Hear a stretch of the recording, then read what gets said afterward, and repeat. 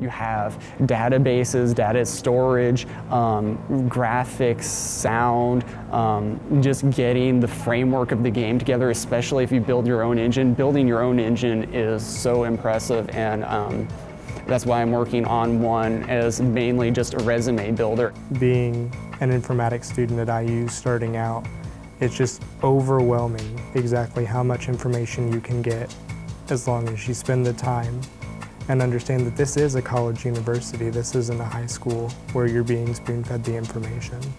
This is someplace where you can come to grow as long as you have the motivation to grow.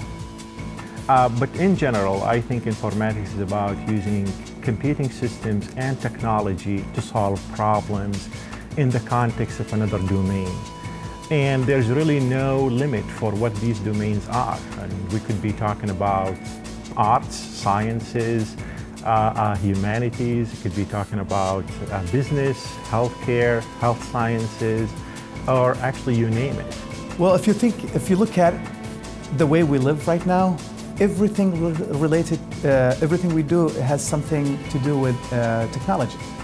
And informatics is all based on working with technology and developing new technologies. Yeah, my experience has been great here at IU Kokomo.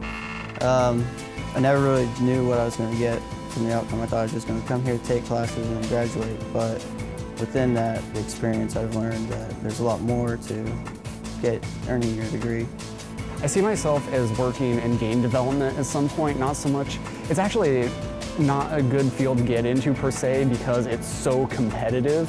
But um, getting in on a game company startup is just a great resume builder because it's such general purpose programming. You use all the programming skills in game development. At first it's not that easy because you don't really know what you're getting yourself into.